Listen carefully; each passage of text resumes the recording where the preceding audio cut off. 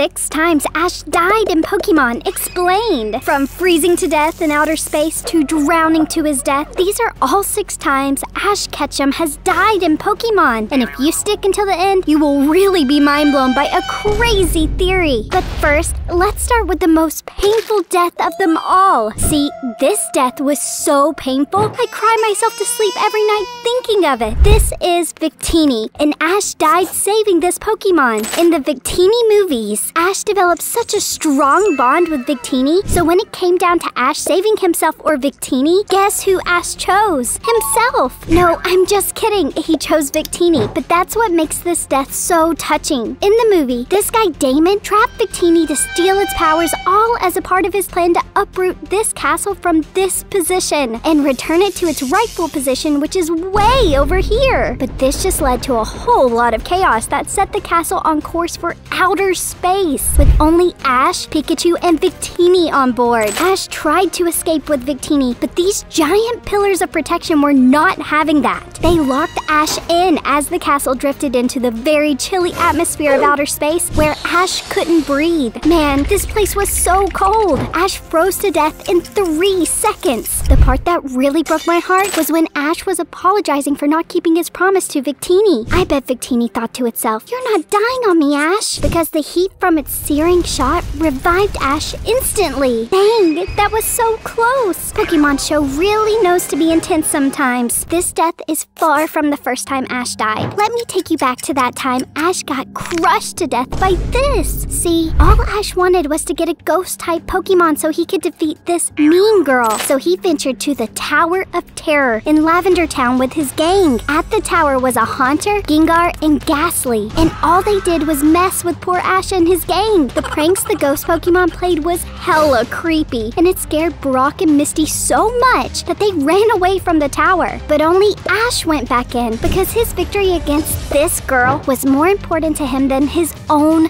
life. In the tower with his Pikachu, Haunter haunted Ash and Pikachu. Then Gengar came along and smacked Ash with a paper fan. And after that, the Pokemon made jokes to entertain Ash. That's kind of funny if you ask me.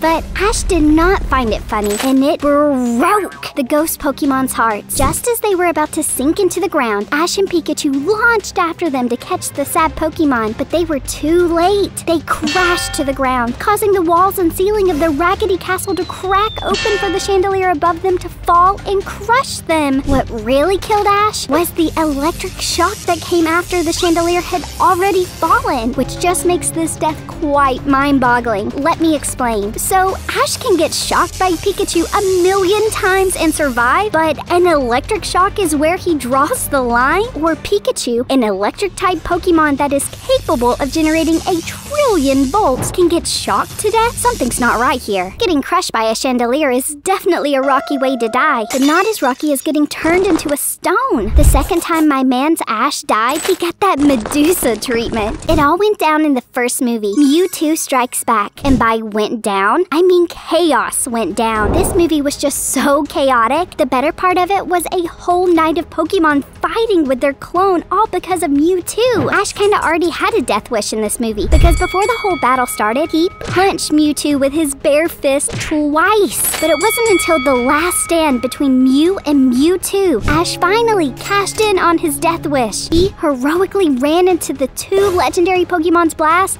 and died. This scene turned on the waterworks. Not only my waterworks, but also the waterworks of the Pokemon that witnessed his death. Pikachu tried his best to revive Ash by using electricity, but it just made all the Pokemon in the area cry even more. If only tears could bring back the dead, am I right? All the Pokemon cried so much that their tears brought Ash back from the dead. That is outrageous. Know what? I will turn into stone in five seconds and Pokemon tears cannot save me. But do you know what can save me? You smashing that, uh, subscribe button.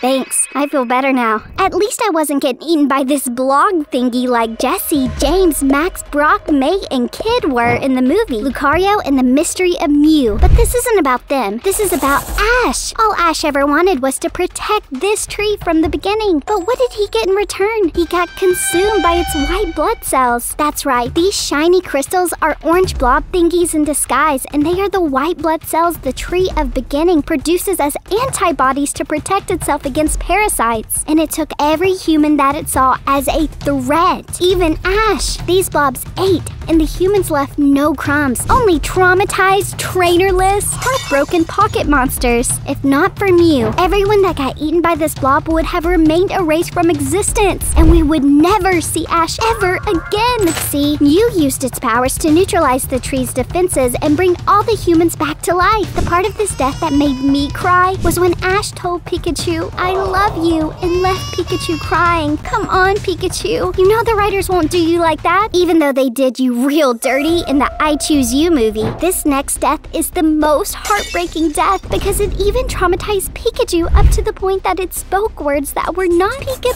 Pee. This movie played out the same way the very first episode of the series played out, and then the story developed into a quest to seek out the legendary Ho-Oh. In his quest, Ash raised an abandoned Charmander from Caterpie to Butterfree and then released it to follow its heart. But when Ash got so close to his goal, he got sabotaged by Cross, Charmander's former trainer. Cross's carelessness and cold heart then caused Marshadow, a mythical Pokemon with concentrated black Air Force energy, to emerge. Marshadow wasn't even ready to hear any explanations. He just started blasting and confessing every Pokemon it could destroy to Ash. This scene before his death gave me goosebumps, the good kind of goosebumps. Ash put his cap back, struck a pose, and said, Now you look! I don't think you know who you're dealing with.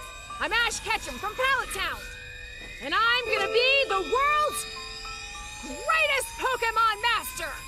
Mess with me and you're gonna lose! And the confessed Pokemon were like, alright, bet, and blasted him to smithereens. The force from this blast was so strong, Ash heard Pikachu talk. That first blast wasn't enough, so the Pokemon blasted Ash again, but this time they sent both his body and his soul into the afterlife. This just made Pikachu very angry and despaired, so he yelled and emitted a colossal thunderbolt attack, sending Marshadow and its army flying, releasing them from Marshadow's confession. Pikachu's cry was so loud, Ash heard it from the afterlife, so he started running, and Pikachu jumped through a special portal, courtesy of Ho-Oh, to save Ash from the underworld. Let's pause for a second and talk about the Pikachu talking scene. It really caught me off guard, but I believe the idea behind it was that Ash was hallucinating Pikachu speaking human language, whereas it was just saying Pika Pika Pee. Another explanation for that could be Ash was just visualizing what he believed Pikachu said, or the trauma was just too much for poor Pikachu. It had to learn human language. But you know what really baffles me about this death? The fact that after Ash got back from the land of the dead, he challenged Ho-Oh to a battle. That's just crazy, but not as crazy as the time he died of natural causes. In the movie, Pokemon Ranger in the Temple of the Sea, Ash and his squad got lost before they met this girl, Elizabeth, and her family who were disguising as performers, but in reality were secretly protecting and transporting a Manaphy egg to a legendary sea temple with the help of the Pokemon Ranger Jackie. While they transported it, this greedy pirate, Phantom, stalked them mercilessly, all because he wanted to steal the priceless sea crown. You know how it goes. Ash and his gang get involved and save the day. Except this time, Ash died saving the day again. See, Samiya, the legendary sea temple in question, got unstable after Phantom's interference. So, to save the temple, Ash and May had to collect its crystals and put them back where they belong. In an effort to return the last one, Ash had to swim way, way down below because for some reason the castle was sinking. Ash went for it the first time, but wasn't able to insert it where it belonged, and it slipped from his grasp. But that did not stop him. The second time, Ash heroically dived to retrieve the crystal from where it got stuck and return it. So he used up all of his air and energy trying to free the stuck crystal from the little nut. He successfully freed the crystal, but that was when he fell unconscious and started drowning while the crystal fell even deeper into the depths of the temple. Rest in peace, Ash. Psych. Please tell me you didn't believe the writers would kill off Ashford without any plans to bring him back from the dead. See, See, Pokemon didn't need to cry, Pikachu didn't need to yell, nor did Victini need to use Searing Shot to revive Ash. All that was needed was for Manaphy to use telepathy. Manaphy placed one tentacle on May's head and another on the tank to somehow transmit May's thoughts through the tank and through the vast amounts of water between them to Ash, waking Ash up from the dead and prompting him to swim to the surface and get a breath. Manaphy basically used Heart Swap to give Ash a lifeline and special powers. This can't be real. But then again, is Ash even real? There is this theory about Ash that I can't seem to shake off my mind. Do you remember the second death I covered in this video? The one where Ash and Pikachu died after they got crushed by a chandelier and got electrocuted to death? Yeah, that one. There is a theory that says Ash and Pikachu are still ghosts that are just living in their bodies. First of all, aren't we all? But then again, that theory low-key makes sense if you consider the number of times that Ash has died and come back to life, especially also considering the fact that this is the very first time he died in the Pokemon timeline, and it is the only death that is considered canon. If you think about it, it makes sense that Ash would just run into Mew and Mewtwo's attacks and Mewtwo strikes back and get turned into stone. Could it be because he knew he would survive no matter what? Anywho, the Pokemon movies have a thing for doing fake out pseudo deaths, but it really stings when a character in Pokemon dies and stays that way. But not for Ash. Never for Ash. I guess it's safe to say legends never die. OMG, look! Ash is about to electrocuted by Pikachu. Click this video to save him from Pikachu just this one time. Come on, do